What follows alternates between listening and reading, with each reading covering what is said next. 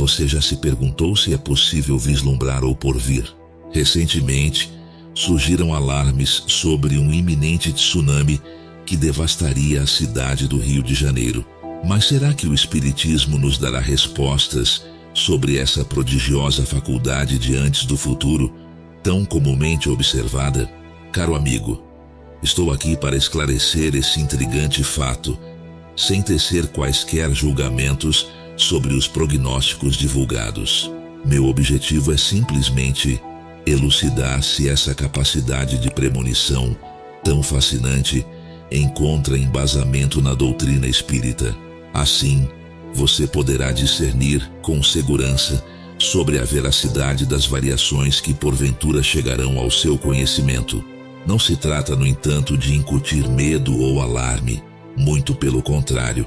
Este vídeo visa explicar as lúcidas explicações de Allan Kardec sobre a teoria da presciência, uma faculdade médica que permite vislumbrar o porvir.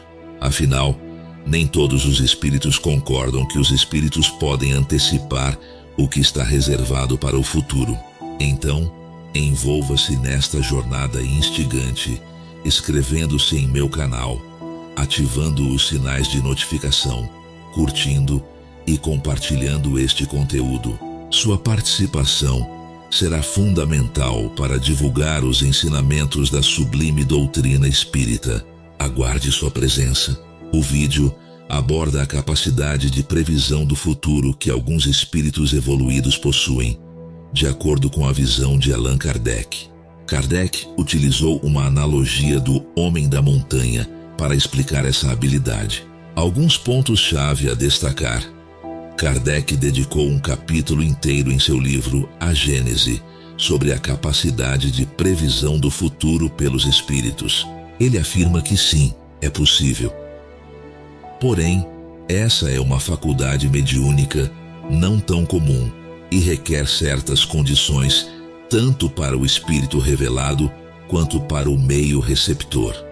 A analogia do homem da montanha representa o espírito desencarnado e elevado espiritualmente que pode ver o caminho à frente de uma pessoa, o viajante, e prever o que pode acontecer. Essa visão ampla do futuro é comparada à visão que o homem no alto da montanha tem da estrada abaixo.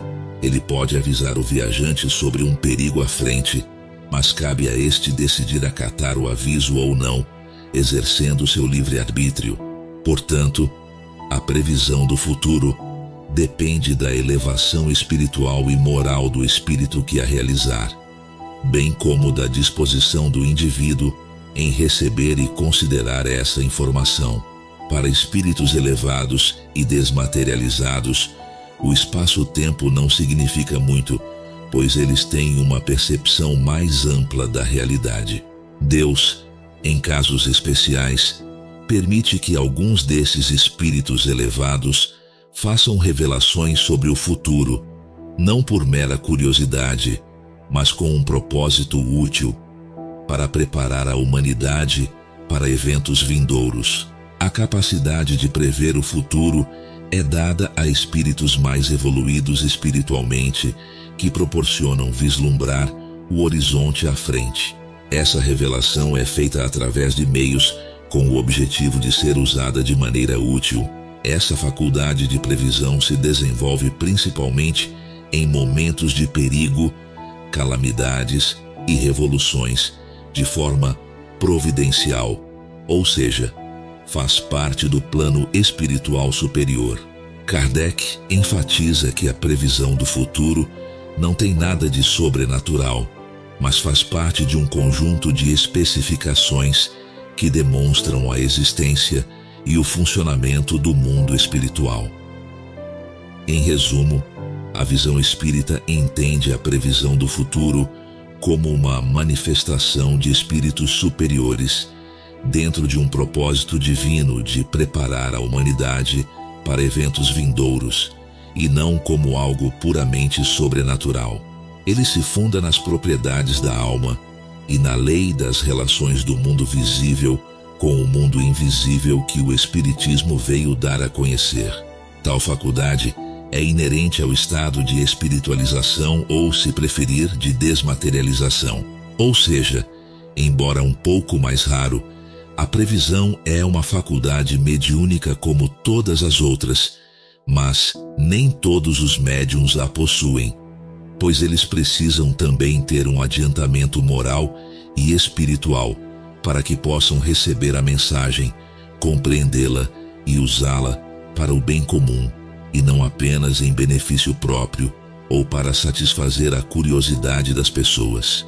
Agora, três pontos importantes sobre a especificação: os dados, os detalhes e se realmente a previsão vai se cumprir.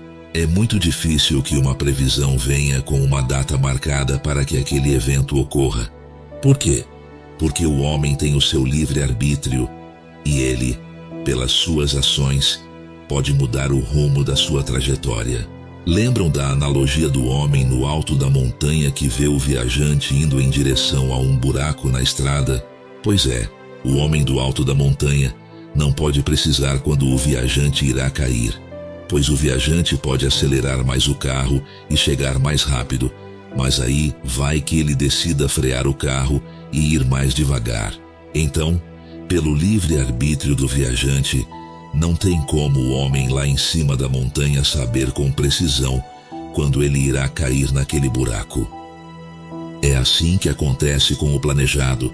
Da mesma maneira, não tem como o homem, lá do alto da montanha, saber com certeza todos os detalhes do que irá acontecer, como os danos que o carro sofrerá, se o viajante irá se ferir, irá desencarnar, pois há muitas questões que podem interferir naquele momento. E por fim, o homem do alto da montanha não sabe de fato se o viajante irá cair naquele buraco, pois ele pode, por exemplo, pegar um desvio, um atalho, ou ver o buraco instantes antes e então frear o carro.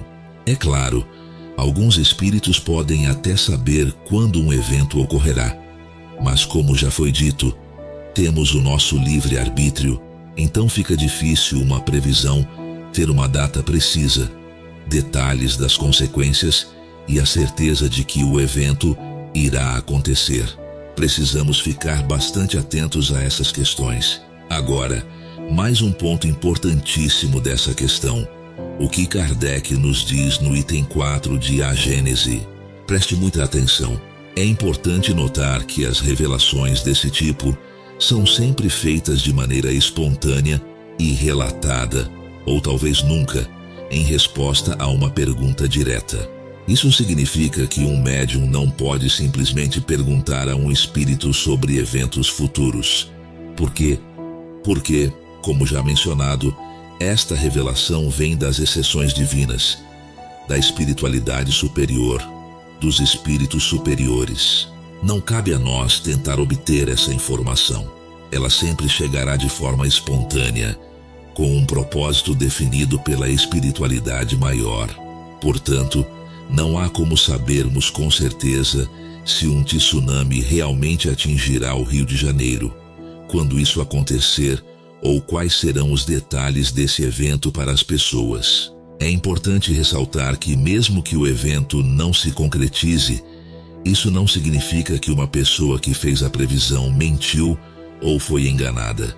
Pode ser que, devido ao livre arbítrio dos seres humanos, o evento não se realize da forma prevista. Nessas situações, é essencial mantermos nossa fé, cultivarmos pensamentos, palavras e atitudes positivas e não deixarmos que o medo tome conta de nós. Agradeço a você que acompanhou este vídeo até o final. Não esqueça de se inscrever no canal e dar um joinha neste vídeo. Um grande abraço a todos. E que assim seja.